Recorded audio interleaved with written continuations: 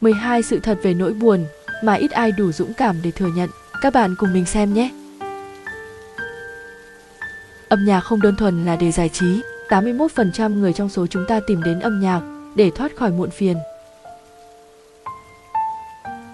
Công thức để sống một cuộc đời vui vẻ kỳ thực rất đơn giản. Đừng yêu nếu không đủ tin tưởng.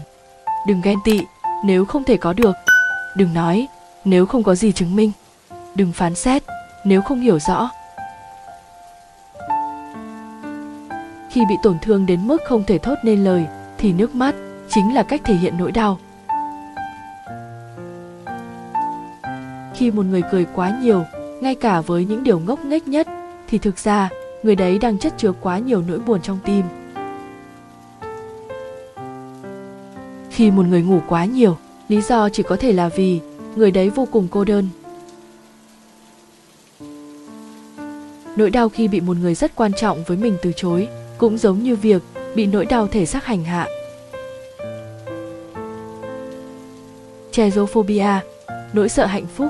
Một số người rất sợ hạnh phúc bởi họ luôn nghĩ rằng rồi những điều bi thảm nhất sẽ sớm xảy ra.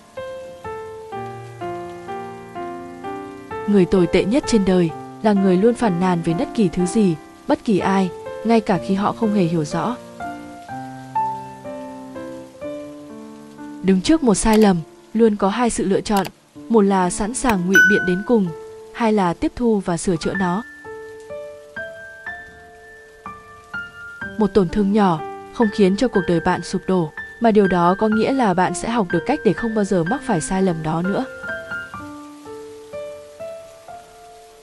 Nghe một bản nhạc buồn chính là cách giúp chúng ta yêu đời trở lại nhanh hơn. Người luôn mang lại niềm vui cho những người khác, đôi khi lại chính là người cô đơn nhất.